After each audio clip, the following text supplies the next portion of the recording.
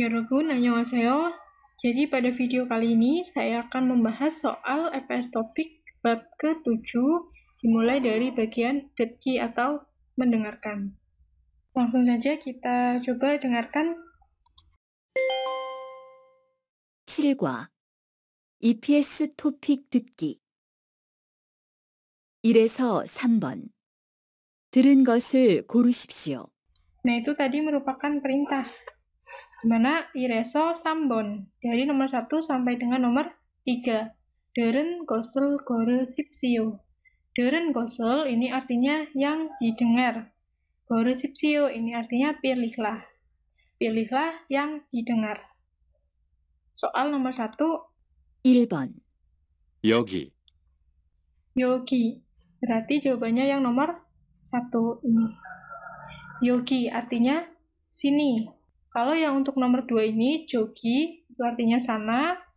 3, odi, mana. Dan untuk nomor 4 ini, kogi, yang artinya situ. Selanjutnya untuk yang nomor 2, 2번 시장 sijang.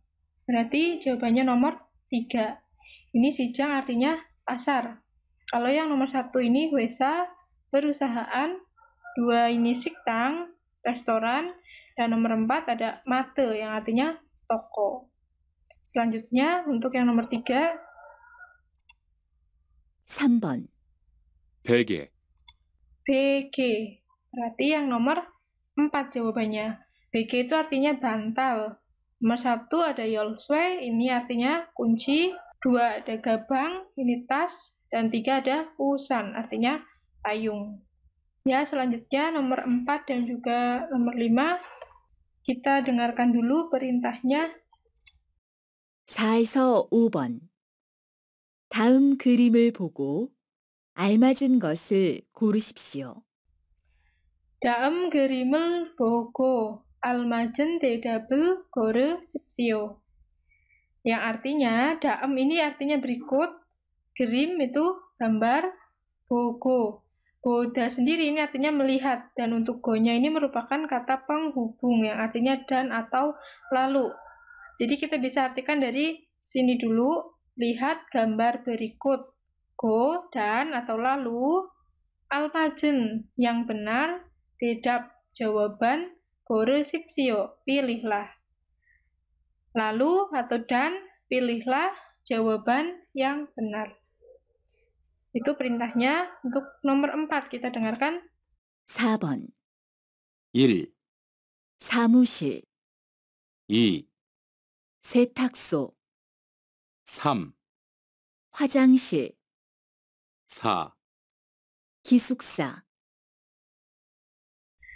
Jadi ini pertama tadi ada samusil. Nah, samusil ini artinya kantor. Dua, setakso. Ini tempat laundry. Tiga, wajangsil. Ini toilet. Dan nomor empat, gisuksa. Ini asrama. Ini gambar toilet, berarti jawabannya nomor tiga, wajangsil. Selanjutnya untuk yang nomor lima. 5번 1, 지갑, 2, 여권, 3, 이불, 4, 거울, ini pertama ada jikap. Jikap itu dompet. Dua, ini yokwon, paspor. Tiga, ibul, selimut. Dan empat, ada koul, yang artinya cermin. Berarti karena ini gambar paspor, jadi jawabannya nomor dua, yokwon. Ini tadi untuk soal yang mendengarkan atau dekinya. Sekarang kita ke soal membaca atau ilki. Dan perintahnya ini dari nomor 1 sampai nomor 3. Daem, gerimel, bogo, manen, danorel, gore, sipsio. Daem artinya sama tadi berikut, gerim, gambar, bogo, lihat. Ini gonya juga sama artinya dan atau lalu. Jadi lihat gambar berikut.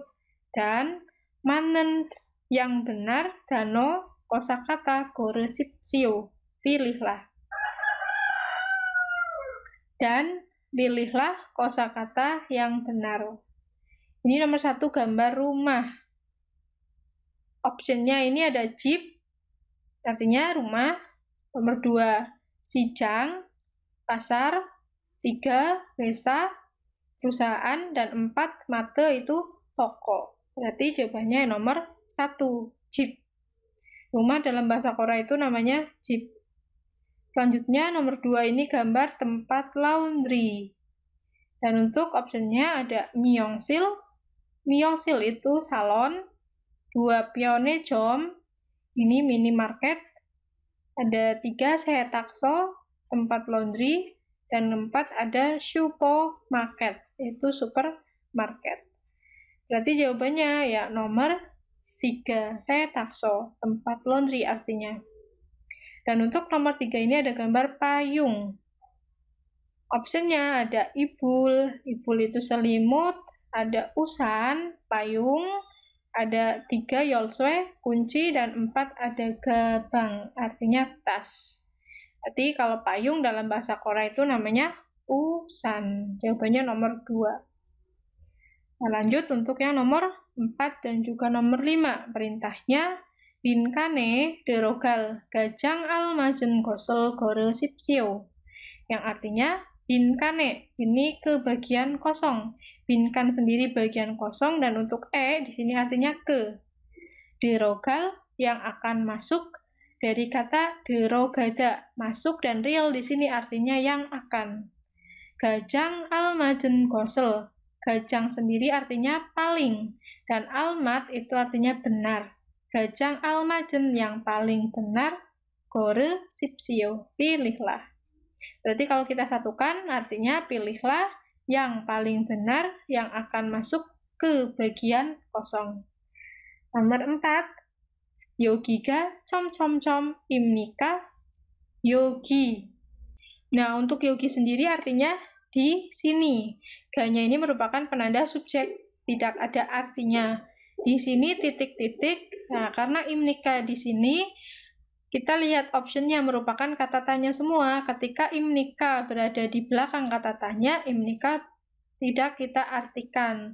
Imnika itu kita bisa artikan apakah apabila dia berada di belakang kata benda. Jadi di sini titik-titik, terus jawabannya ini samusirim nida. Samusil itu artinya kantor. Di sini titik-titik. Dijawab ini kantor. Nah, kira-kira bagian kosongnya kita isi dengan kata apa?